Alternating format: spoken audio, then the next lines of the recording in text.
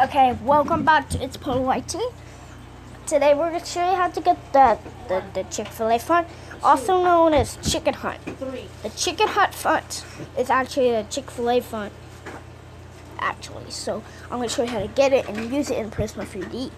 So I'm going to show you. Hold on just a second right quick. I'll close all of these. Okay, here. So uh, first go to, but I'm gonna tell you first. What you need is actually a Samsung phone like I have.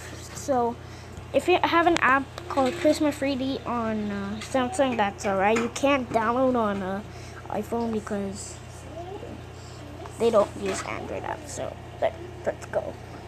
So first click on Chrome.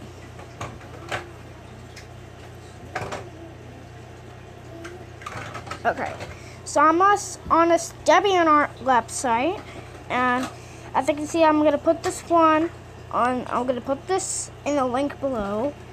So, if you have the phone, click on download if you're already signed in. If you're a DeviantArt already. I know.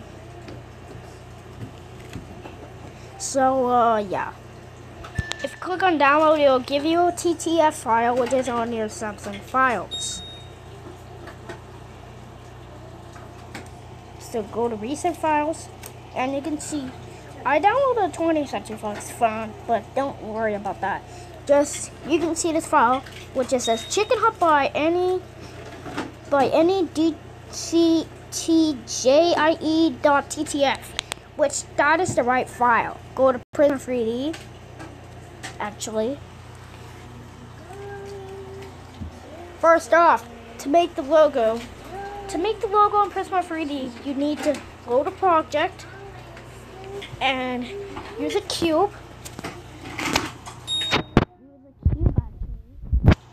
And if you want to make it more defined, like TV screen, use a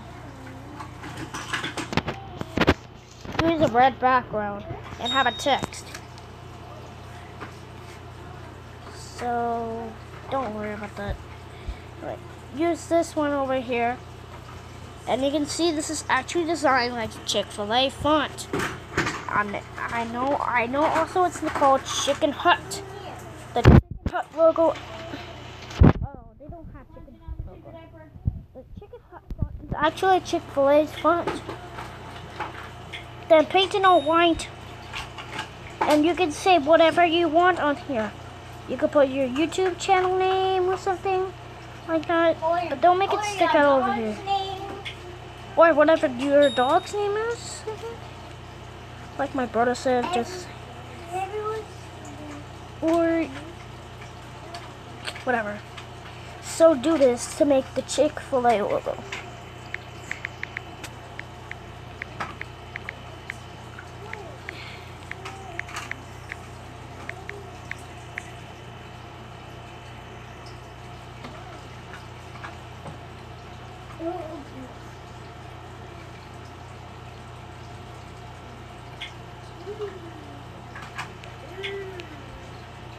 Done.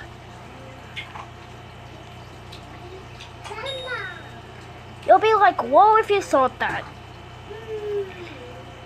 And there we go. You got the Chick-fil-A logo. Bye.